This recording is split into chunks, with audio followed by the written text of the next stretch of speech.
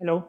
Um, I'm going to talk, as, as uh, Valerio said, I'm going to talk more about the way the data were analyzed um, to make this detection in, in, the, in the context of the uh, LIGO interferometers. So um, I hope my talk is going to be orthogonal enough to, um, to the previous one.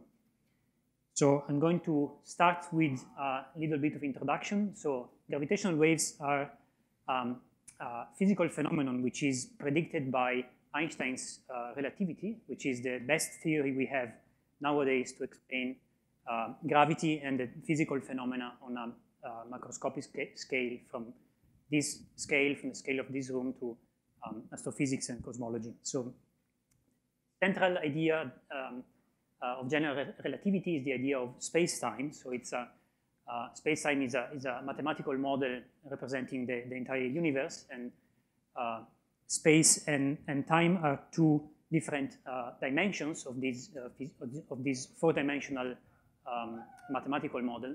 And inside space-time, we have stars, matters, planets, energy, radiation, and everything that is contained in the universe lives inside this space-time. Space-time has a, has, a, has a geometry, which is represented by this grid in this uh, picture, which means we have a way of calculating distances between points in space-time. Uh, general relativity also has a set of equations, which are called Einstein's equation, which couple the geometry of space-time to the distribution of matter and energy inside it. So there is an effect, there is a, a back reaction of the distribution of matter and energy on the geometry of space-time, but at the same time, the geometry determines how um, uh, matter and energy move inside space-time. So there is this kind of feedback loop, um, which um, is very complicated mathematically and uh, is at the center of the description of uh, uh, dynamics in general relativity. Also, general relativity tells us that whenever we have curvature in the geometry of space-time, we have gravitational effects. So gravity is described as a uh, very precise mathematical uh, property of um, the geometry of space-time. Um, a major prediction of relativity is that if we somehow perturb the geometry, for example, by shaking the distribution of mass and energy in a certain part of space-time, this perturbation will propagate to the geometry of space-time and will be radiated away as waves, uh, which travel at the, at the, speed of light, and uh, propagate essentially the information that this shaking happened um, at some point in space-time. This is what we call gravitational waves. This uh, theory was published 100 years ago, so it's quite remarkable that the detection was made uh, now in this period. So how do we generate uh, gravitational waves? Well, I am actually generating gravitational wave now as I am speaking to you and moving my, my body. But if we are talking about strong gravitational waves, then we need something much different than, than myself. We need something much heavier, which is not difficult, but um, we, uh, we need something like the, the mass of the star. Uh, we need to accelerate this mass to uh, relativistic velocity, so close to the speed of light, and then we need to change this, uh, this speed very violently. So for example, with a sudden collision between two very heavy objects or a rotation of a very heavy object or something like that. Um, and fortunately, this kind of phenomena cannot happen on Earth, otherwise we wouldn't be here. But that also means we cannot generate gravitational waves to study them. So we need some kind of violent astrophysical or um, cosmological phenomenon which radiates these gravitational waves, and we need something to, to measure them here on Earth. Uh, there is one physical phenomenon in particular, which is a very efficient radiator of gravitational waves. So imagine uh, having a star, which can be a heavier version of our sun, for example. This star burns hydrogen and other elements, and the, this burning produces um, radiation, which balances the force of gravity that tends to squish the star into a, a single point. At some point, hydrogen finishes, and the pressure of gravity doesn't have anything else to balance it, so the star starts to contract. And if, if the star is heavy enough, then we don't know any physical interaction which can con um, contrast gravity. And essentially, the material collapses uh, forever. And at some point we get a compact object which uh, can be, um, which is something that contains a lot of mass, like the mass of the sun or more, in a very small uh, uh, sphere, which is which has a radius of like 10 kilometers or so. So imagine something weighing many times the sun compressed into an object very small with just some kilometers. And this can be a black hole if the star is very heavy, or in other conditions can be a neutron star, which is a very special kind of star made essentially uh, basically all of neutrons. Um, many stars in the universe come in pairs, so come in binary orbits like this. And if you imagine applying this idea to each individual star in the binary, then we can end up with a binary of two black holes orbiting each other. This system has all the uh, requirements that I talked about in the previous slide. So it has heavy objects moving very fast and um, uh, accelerating in, in, a circular motion. So it will radiate gravitational waves and will lose energy by radiating energy away in gravitational waves. So these objects will slowly spiral into each other, accelerate to relativistic velocities, and eventually touch each other, merge, form a single black hole. And uh, this process is an extremely efficient radiator of gravitational waves. This is what LIGO instruments detected in September, and I will call this thing GW150914. So uh, how can we measure these kind of waves? Well, the, there was already the uh, very nice previous talk. I will just do some recapitulation here. So imagine taking a ring of particles. The effect of gravitational waves is to change the distance between these particles if these particles are in free fall. So the gravitational waves will squeeze the ring in this way, and then the next cycle will be, become again uh, to the rest position, then it will be squeezed the other way, and then so on. This will osc oscillate with the wave. So the way to measure this, for example, is to take some mirrors, as was shown already, and suspend them in a very quiet environment, send some light between these mirrors, and measure the light travel time, essentially. This seems simple, but has been a major technological challenge and required many decades um, for this discovery. This is how uh, the LIGO interferometers look like. They are very similar to what has been shown before. before. So there is the laser, then there is a magic which cleans the laser beam, and um, makes everything better. The laser beam is split by a beam splitter sent into two Fabry-Perot cavities where the laser power resonates and builds up. The gravitational wave will um, change the length of the optical path in a sort of differential way. So we make one shorter and one longer. And when this happens, there will be a lack of cancellation of the, of the laser light here. So some light will leak out, and with some more magic here, will be amplified and then detected by a photodetector. Then this goes through some very sophisticated and complicated electronics and digitized and saved um, to be analyzed.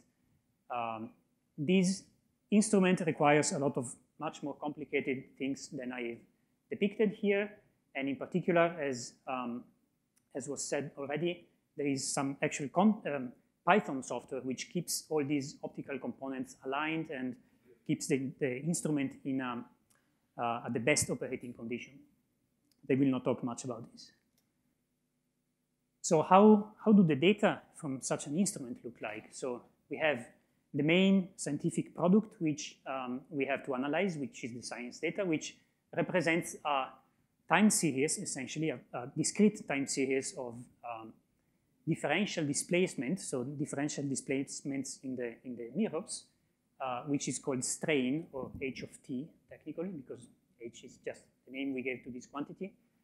In LIGO, this is sampled at about 16 kilohertz, and uh, those are stored as double precision numbers. Uh, the useful frequency band is actually just between 20 and uh, 20 hertz and 2 kilohertz. Um, and if you look at this data, it's basically dominated all the time by, by noise that is um, unavoidable in any um, instrument. And uh, this noise background has some very nice properties. Most of the time, it's quasi-stationary, quasi-Gaussian, meaning that its statistical properties evolve slowly over time.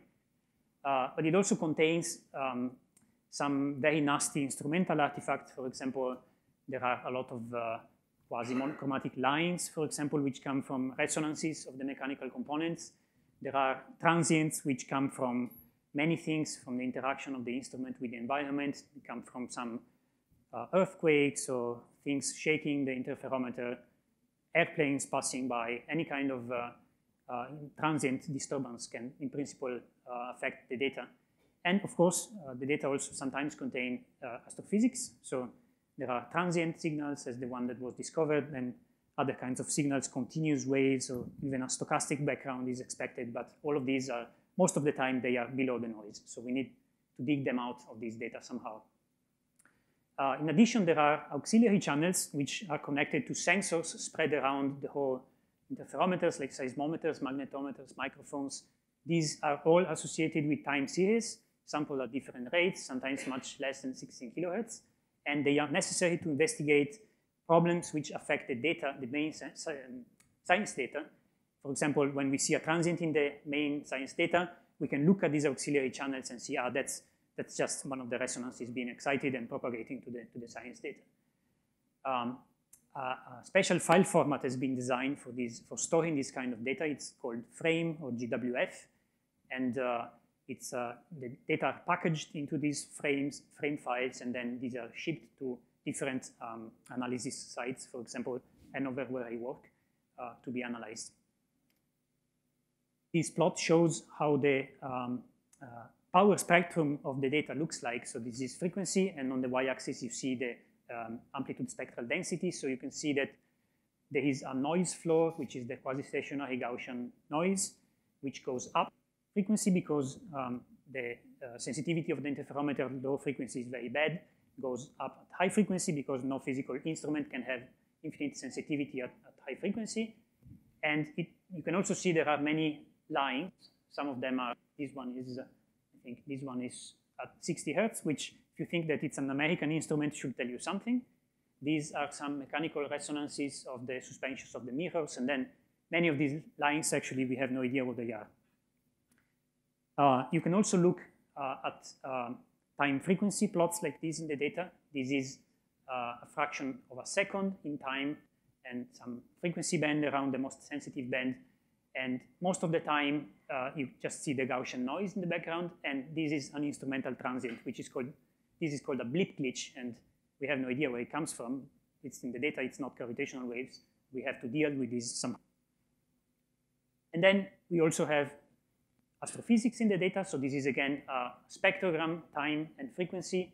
And uh, you can see here GW150914, which is, uh, shows this characteristic um, signature in time and frequency.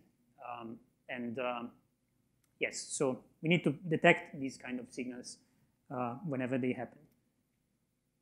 We actually have two detectors, and hopefully in the future we will have more.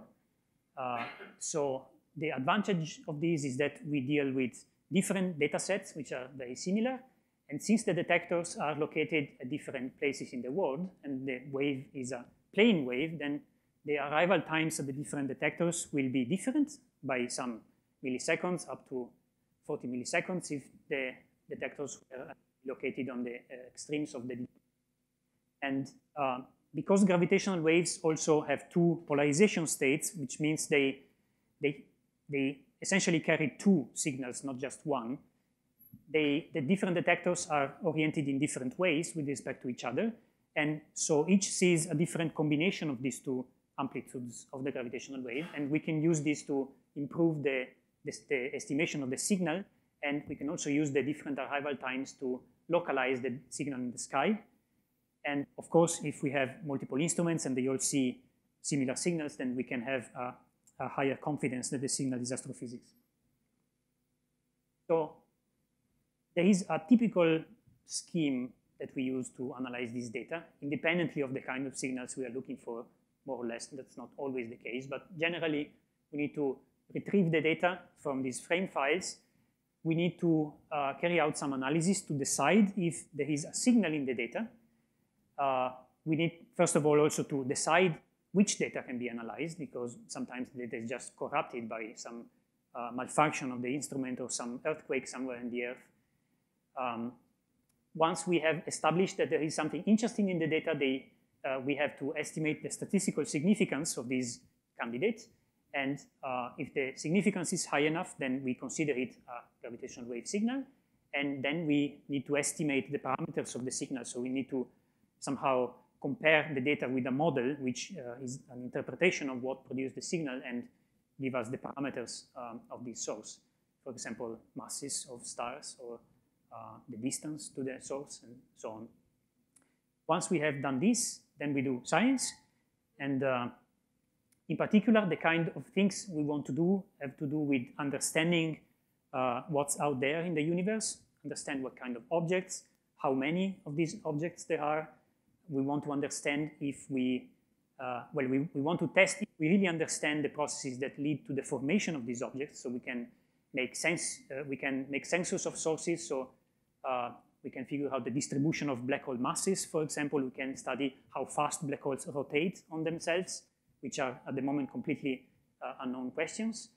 Uh, we can also search for counterparts of these signals in the electromagnetic band, for example. So we can look at the direction of the signal and decide and, and check if we see, for example, uh, gamma rays or neutrinos or radio waves, which can uh, tell us more about the source. And all these things are under the name of gravitational wave astronomy. So that's ultimately what we want to do with these detectors is uh, observe the universe in a way that was not previously possible. We can also use these waves to compare them with the predictions of general relativity and therefore uh, figure out if general relativity is a good enough theory of, of, gravity or if we need some kind of alternative theory of gravities, which at the moment doesn't look like the case um, they are actually challenging in doing this analysis, even if it sounds simple, because most of the time, searching for these signals is essentially a needle in a, in a haystack problem. The signal we expect in the data is extremely weak and uh, buried under the detector noise because gravity is a very weak interaction, and so it doesn't interact with the, the detectors much. Sources are very far away, much farther than you can imagine. So the expected amplitude of the signal in this time series of the detector is 10 to the minus 21 or less. We also have no control on the source of the signal because we don't know when black holes coalesce. We have no idea. We have to, that's why we, we need to find, to search for the signal. And sometimes we can have some prediction, but with very large errors. And sometimes it's difficult to make good mathematical models of these signals because uh, they may require some extremely computationally expensive simulations, for example, which is definitely the case for the signal that was detected. Um, and the detector noise itself is, uh, is non-stationary and it's changing all the time because the detector is very complicated and um, it can be very difficult to make mathematical models of the noise. So deciding if there is a signal in the data or not can, can be very challenging. So essentially the challenges are computational because we have many times a very large parameter space, so we, we need to search for this uh, immense space for something that looks like a signal, and then we need to be sure that the signal is not caused by the noise in the detector, which means we have to filter the data in complicated ways and have developed these uh, sometimes complicated models of the signals. Um, this is just a quick overview of what kind of software and libraries we use every day. So we have a big uh, library, which is called the LAL uh, library, LIGO algorithms library. This is mostly C with some Python, and uh, there is a very nice uh, Swig interface to it, which we can call from Python and also Octave. Um, this contains many things like handling of time series, uh, models of these uh, black hole waveforms, for example, lots, lots and lots of stuff. There are also some Python codes inside this library um, and then in addition to this package, there are many codes and pipelines to actually uh, study and detect different kinds of signal in particular. So there are like pipelines dedicated to different types of signal. We have, for example, uh, pipelines looking for transient signals or continuous signals uh, mm, using essentially very, very simple models or very, very uh, applying very strict requirements on the, on the shape of the signal. We have some pipelines which analyze the data with a very low latency to make the detections uh, as close as possible to, to the arrival time of the signal and report it to uh, for example, telescopes to be pointed at the location of the source, or we have analyses which take weeks and do a much more uh, deep search in the data, which requires more time.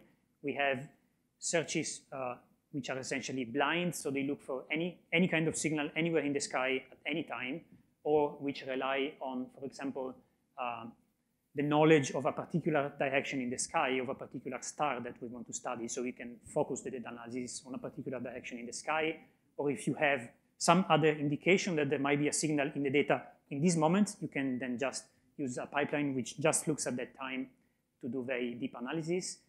And these pipelines are written in um, different languages, mostly C or C++, uh, um, some of them in Python, and this, this is what I will talk about more in my talk. Unfortunately, there are exceptions, but I talked about that. Um, typically, these search, as I said, they are extremely computationally expensive, so LIGO collaboration and also Virgo, they have dedicated clusters for this kind of an, uh, analysis. We also have shared clusters, which are shared with other experiments. Uh, the analysis which reported this binary black hole coalescence required this uh, astonishing number of CPU hours. uh, yeah, so you get an idea of, of the scale, and the analysis was uh, spread on several uh, LIGO clusters, including the one in Hanover where I work, which is the Atlas cluster, um, uh, which is the largest cluster dedicated only to the analysis of gravitational wave data. So I'm going to give some details of the way data are selected. So this is the first step in analyzing the data. Uh, we need, of course, to visualize the data, so make a lot of plots, plot time series, uh, spectrograms. Um, we need to um, to apply filters, of course, to select the frequency bands which we are most interested in, to notch out um, lines from the data which we know are not gravitational waves. We need to compute uh, very often correlations between the strain data and these auxiliary channels, which I talked about, to see if there is a chance that something we see in the strain data could be related to some external disturbances. The results of these investigations are typically, uh, they are called category, category vetoes, which means uh, um, which are time segments essentially describing uh, problems in the data. So for example, there can be from this time to this time, the data is not usable because there is an earthquake somewhere. So these results are stored in databases, which are actually operated using some client-server models based on Python, and they are also saved in very ugly XML files, which are read by the uh, pipelines. One of the software packages which has been developed for doing all these kind of tasks is called GWPy and is on GitHub. This is uh, basically an object-oriented interface to uh, NumPy and AstroPy arrays. So they give a very nice interface to reading frame files and the auxiliary channels, the state of the interferometer, which can be very complex data sets. They allow you to do filtering, correlation, and plot using matplotlib. So this software has been used in particular for generating some daily web pages where you can see all the data. Every time I was waking up during the data taking, I was going to these pages and checking the quality of the data. Uh, I'm going to focus on the analysis which uh, reported the event with the highest statistical significance. So this is an analysis which relies on a very precise modeling of the signal. So the signal from these kind of systems, so binaries of compact stars which spiral into each other and merge, looks like this. This is time, and this is on the y-axis, you can see the strain amplitude as observed by the detector. Initially, as the two masses are still quite far away and they are orbiting each other and getting closer and closer, they produce a gravitational wave signal which looks like this. So it's a kind of quasi-monochromatic signal starting from 10 hertz, which is the lowest sensitivity of the detector, low, the lowest sensitive frequency. These can last for uh, from under fraction of a second to 30 minutes, depending on how heavy the two objects are. And eventually, they will get closer and closer. The frequency will go up, and they will sweep through the sensitive frequency band of the detector until they will touch each other, merge, and this will peak the amplitude and frequency that we observe. And then the final stationary black hole results. And this is uh, in a kind of excited states, which means it's, a, it's not a spherical black hole, but it's deformed. And so it has to ring down like a bell and radiate gravitational waves, which is this ring down part. Exponential waveform at the end. And this waveform depends on many, many parameters. So there are, there is, for example, simply the time of the merger, so just a time shift. There is the orbital phase at merger, which is just a phase shift, not very interesting. There is, of course, the distance and the sky location to the source. The farther away the signal, the, the source, the uh, smaller the amplitude of the signal is. There is the orientation of the orbit, and uh, very important parameters, which are kind of intrinsic to the source, are the masses and the uh, intrinsic angular momenta or spin of the two objects. So these control the time scale and the shape of the waveform. And this is actually what we want to learn. We want to try, we want to get uh, to the masses of the objects. We want to know how heavy they are, how fast they spin. There can be other physical effects which are not so important. For example, if the orbit is not circular, is eccentric, then there are, the waveform is more complicated. If one of the objects is a neutron star, then it can be destroyed by this process, so there can be, the waveform can be very complicated because all the matter gets dispersed in a cloud. If there are magnetic fields, this can also affect in a tiny way the waveform, but these are typically uh, ignored because the, because the detectors are not sensitive enough at the moment to be sensitive to these effects. So how do we search for this kind of signal in the data? We have to explore the whole set and decide if we have a signal like that in the data. So the way we do it is based on the maximum likelihood approach. This is quite famous. So we need to evaluate something like this. So we need to take a segment of data. We need to take uh, uh, our model waveform and convert them in the frequency domain. We need the spectral density of the detector noise. We calculate this. We integrate this in some frequency band where the detector is most sensitive. And we calculate this quantity, which is essentially a signal-to-noise ratio for this particular signal model and it depends on the parameters which I just described, the masses and everything. So this is actually just a correlation between the signal and the data. It's nothing very fancy. It's just done in the frequency domain because that's very um, efficient computationally. So the problem is essentially computing these functions everywhere in our parameter space, and whenever this value is larger than a threshold, then we have candidate signal with corresponding to that parameters, and we put it away and we continue the evaluation. Uh, there are some tricks to do this efficiently. For example, some of the parameters can be dealt with analytically, the um, amplitude and phase of the signal, for example. The search over the arrival time of the signal can be implemented very efficiently with a fast Fourier transform, but that's basically it. The rest, we need to just keep calculating these points in the parameter space. So it's a kind of brute force operation. This means if we have uh, some search space in our parameter space here, so this can be, for example, the mass of the first object and the mass of the second object, we want to search for signals in some range in masses. We need to repeat the evaluation of rho at different points in this parameter space. And these points are associated each with one particular waveform we have to search for. And of course, you can imagine that these, there is a balancing here because we don't want to have too many points because that would be unfeasible. But if we have too few, then imagine having a potential signal here. If my nearest point is very far, then the SNR will be reduced with respect to having a point here, so we will miss the signal. So we need a good enough number of points, not too large, but not too small. And so there, is a, there are kind of decisions that need to be made here. In the search that was done, we had about um, uh, 250,000 templates, so many fast Fourier transforms. Fortunately, though, we can break the data into independent segments. We can break these points into independent sets, so this is very easy to parallelize on, on a cluster. This is not enough, unfortunately, because this quantity rho is also affected by the instrumental uh, artifacts we have in, in the data. So if we see something above a threshold, that doesn't mean that we have a gravitational wave this statistic is sensitive to gravitational waves, but is also sensitive to garbage in the data. So we need to some, some other we need to calculate some other number which tells us does the signal really look like the signal the, the, the, does the data really look like the signal we are looking for? This has been uh, done in a very nice way. It has been invented by my boss many years ago. Essentially, you compute the SNR, but instead of using the whole frequency range, you break the frequency into different bands. You compute these partial SNRs in each frequency band, and then you ask, do these, uh, are these partial, partial SNRs all consistent with the full SNR from the whole band? And by doing this, you get a kind of chi-square test, which is like a goodness of fit test in some sense. And then this quantity, uh, when this quantity is large, then the data is inconsistent with the model. So even if the SNR is very high, we know we don't have a gravitational wave.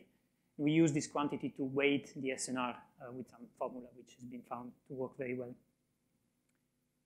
Uh, you can see in this plot an example of what I'm talking about. This is a few, um, a few fractions of a second around the time of GW 150914. The blue curve is the SNR statistic. So you can see typically when the data is dominated by noise, there are some fluctuations in SNR. And at some point, we see a big peak here. So this looks like a signal. And then the green curve is this chi-square test. So here the data is not consistent with the signal, not consistent, not consistent. And at some point, this quantity becomes 1, above, close to 1. So this moment is consistent with the signal. Then it goes high again. And in this purple line, you see the weighted SNR, which uh, in this case behaves like the SNR because the signal is in gravitation. Uh, since we have detectors, we need to repeat this procedure uh, in, the two, in the two detectors. And we expect noise to produce candidate signals which are uncorrelated between the two detectors. So um, uh, because there are no, um, we don't expect the physical processes of producing the noise to be affecting at the same time two very far away detectors. But we expect gravitational waves to produce triggers in both detectors. So the way this is done is we, uh, we go through each template, each model uh, waveform.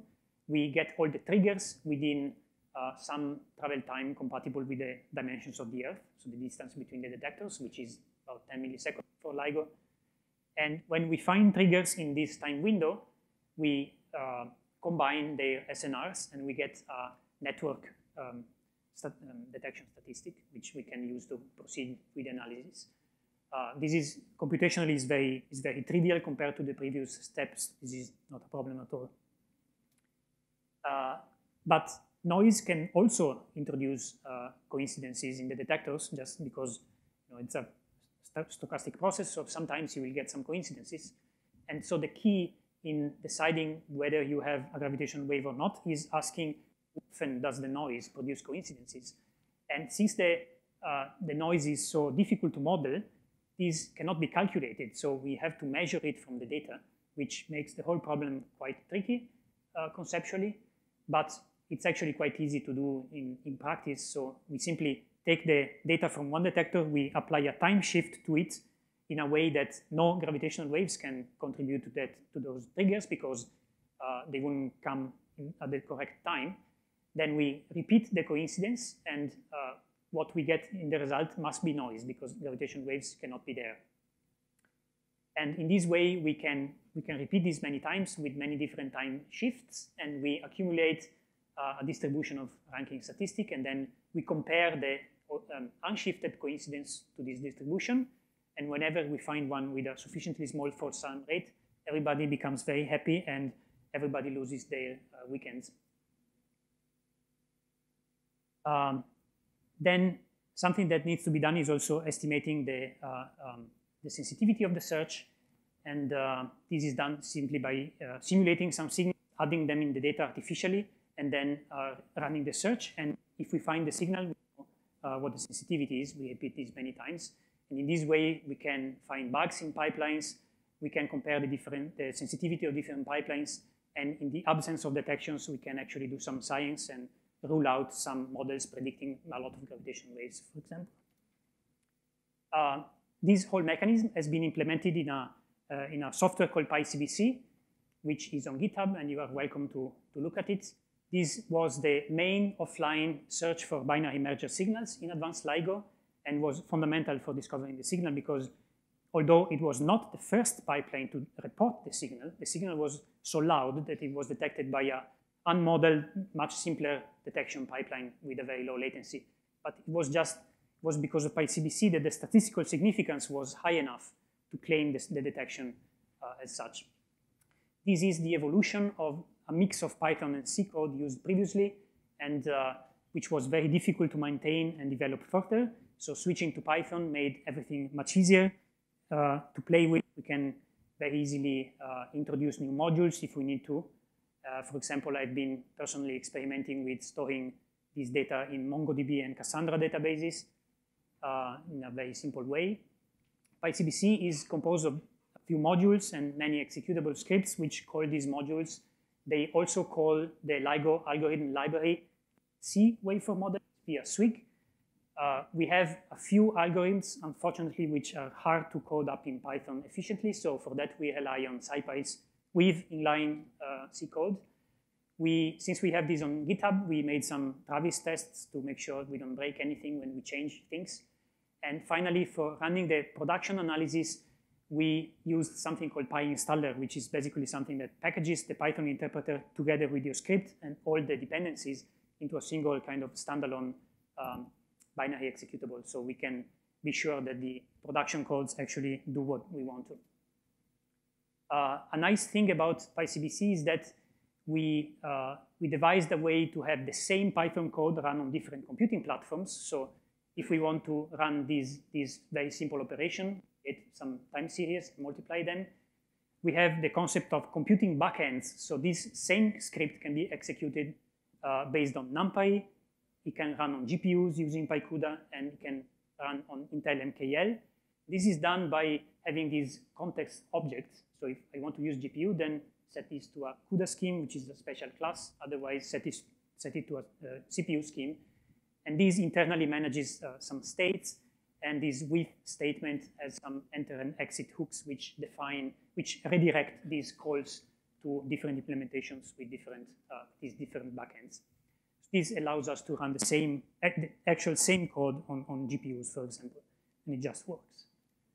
Um, so how does it work in practice? So uh, PyCBC first reads the configuration file, which is very long.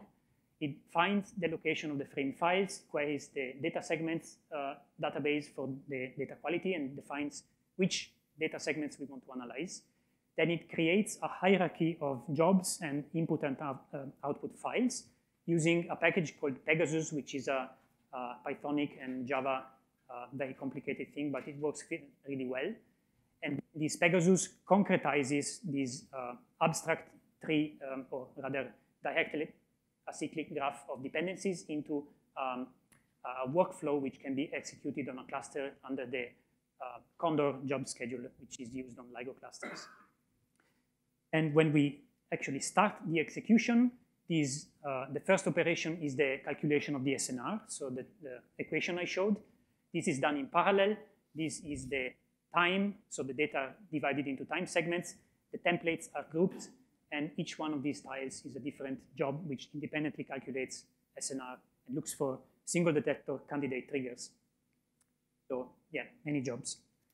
Then uh, each one of these jobs reads the data, filters it, does some conditioning, calculates one of the models associating with the first template via Swig, multiplies the data and the template, does an inverse Fourier transform to get the SNR time series using one of the computing backends, uh, finds the maxima on the SNR time series. Uh, this is done with some SciPy weave C code, computes the chi-square signal consistency check, and then goes to the next template, repeats this many times, and at the end you get uh, some candidate triggers, you save them to a HDF5 file, and uh, that's it. Then um, when this SNR calculation is done, which is by far the most dominant part of the computational cost of the search.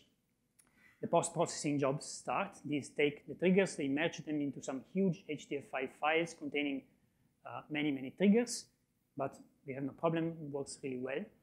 Then some other jobs do the coincidence between the detector and then calculate the significance and store the results in, again, HDF5 files.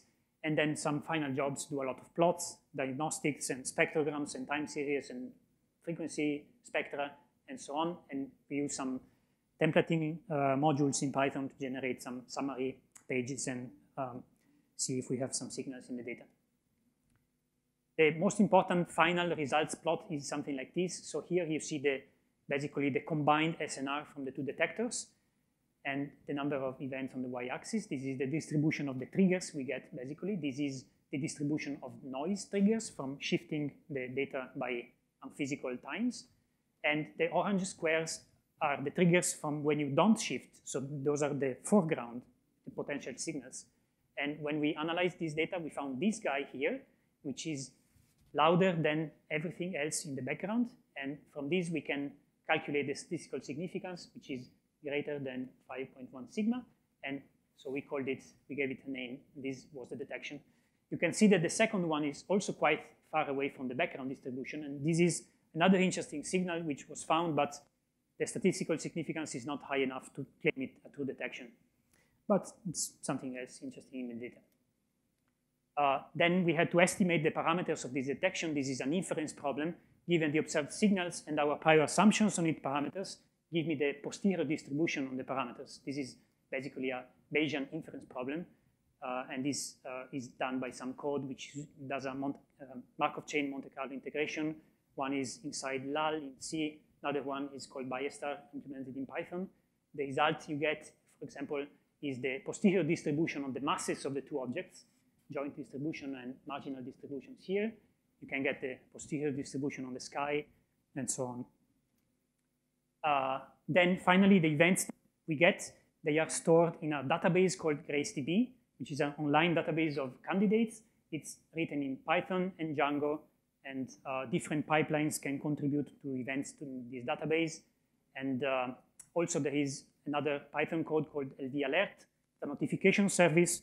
Time a gravitational wave candidate is uploaded to this database, you can subscribe, get a notification, and something similar is attached to something called the um, GCN uh, network, which uh, also notifies about um, detections in other uh, fields, not only gravitational waves, like gamma ray bursts, for example. And um, I want to conclude first with something that you can do. Uh, you can go to this website and download the data containing the event. There is an IPython notebook which shows you how you can filter the data and plot it. So this is what you can get. So take a look and uh, see how the data look like with your own eyes. And one last thing I want to advertise is Einstein at Home. is a project of my institute. It's a BOINC application for analyzing gravitational wave data, mainly used so far for uh, searching for continuous waves, uh, continuous gravitational wave, and also radio uh, data analysis and gamma ray data analysis. But now PyCBC is being uh, tested on BOINC, and it runs on Linux and Windows so far. So uh, take a look, join, and you may find the next gravitational wave. And uh, that's it. Thank you very much.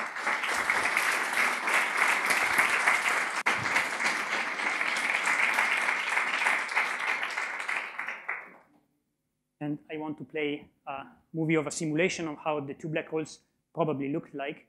So this is done with some numerical relativity codes. You can see the two black holes orbiting, spiraling, and this is the uh, geometry of space-time being affected by, by, this, um, by this phenomenon. And light follows the uh, curves of shortest path in this geometry, so it gets deformed because the geometry is being deformed. At the end, the two black holes merge, and this is your final stationary black hole.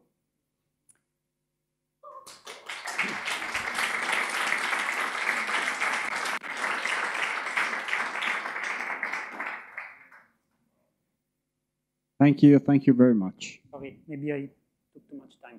No, no, no problem. You're perfectly in time. So we have time for questions. So it looked like the actual like event you measured was like seconds long. How, fractions of a second. No. So how did how far ahead of time did you see that this was possibly going to be happening so that you could try to be ready to measure this fraction of a second thing? Um, so the point of the detectors is that they are always ready for potential signals. So they measure data. You have some data analysis pipelines which analyze the data continuously and they try to be to have as low a latency as possible. So they are essentially watching the data all the time as fast as possible. Every time they see something that may be a gravitational wave, they immediately upload the event to these databases and everybody gets a notification. So we, they, the data analysis can must be essentially ready all the time for any kind of signal, which could come anytime. No, no, no, this was completely unexpected. the first person to be notified of this event is actually a, a, an Italian colleague of mine, which works at, at my institute. He just got an email from, this, from the search pipeline he was working on, and this happened in the morning, and he looked at the data, and he said, this looks like a detection, uh, must be.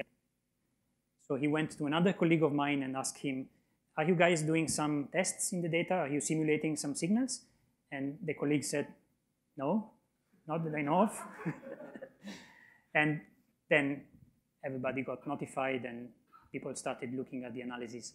But this was a very uh, unexpectedly loud event. So typically, you also expect to detect things with, you know, weeks later, such as the PyCBC the pipeline which I described is a high latency analysis. So you take the data for some time and you, you analyze it later and you take your time and all the checks, you check that the plots that the, the PyCBC produces look correct.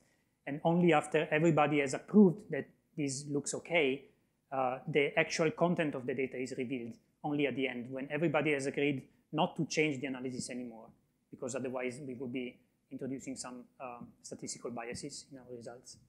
So it depends. If you are lucky, you can see a signal immediately as it comes and is sufficiently strong to be detected by the real-time analysis. Or if not, then you wait some weeks and you see it in the offline analysis. Questions?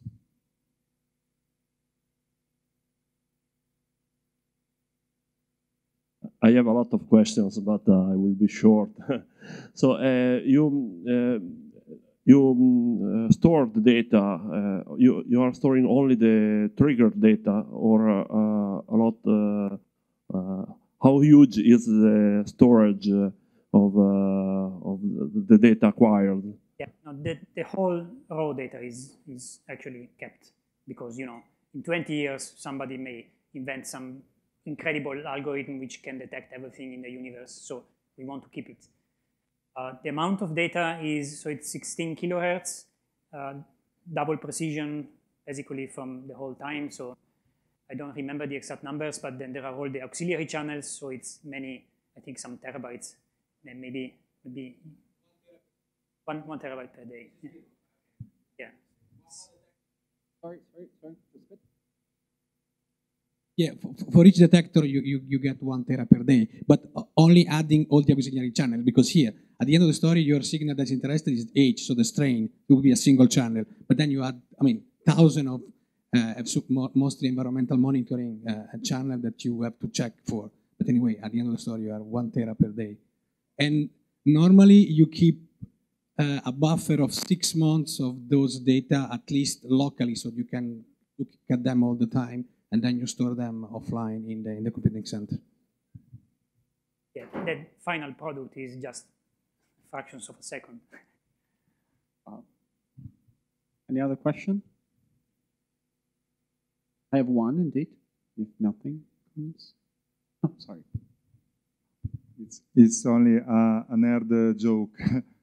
uh, have you investigated if, uh, so, sorry for my English, if uh, the uh, the break in the space-time, uh, I don't know if uh, physically exact, could be created by the by the coming back to the future of uh, McFly. it's about the same time, October 15 versus September 15. well, if if he did, then he's gone a long way because this thing was very far. admitted you actually did this just so you could detect when the TARDIS arrives, right? We hope to detect many more. nice presentation. Um, I would like to ask, um, you need a very, very violent astronomical event to detect this. And how likely or how frequent are these events in the universe? And therefore, how likely is to see another gravitational wave signal in the data. These events are extremely unlikely. So if you consider one galaxy, they, they are essentially, yeah, they, they never happen. So the point to have a sufficient number of detections in your data is to make the detector so sensitive that monitor a huge number of galaxies in the universe. So the more, let's see, yes, the more we make this curve uh, smaller and smaller, then the more the more far away we can see with our detectors. And the num so you basically explore a sphere whose radius is given by the inverse of this curve, roughly. Then there is there are some integrals in the middle, but you can imagine that the lower this goes, proportionally you get a higher distance to which you are sensitive. And so the number of galaxies inside this sphere goes as the third power of the distance. So if you make this 10 times better, then you can see a thousand times more galaxies. And so even if the probability of one of these events in a, a galaxy is very small, then you observe millions and millions of galaxies, then this becomes you know, something you can measure in, in a lifetime. So based on this detection, the rate, the inferred rate on the detections of similar signals has a still a very large uncertainty because it's just one event.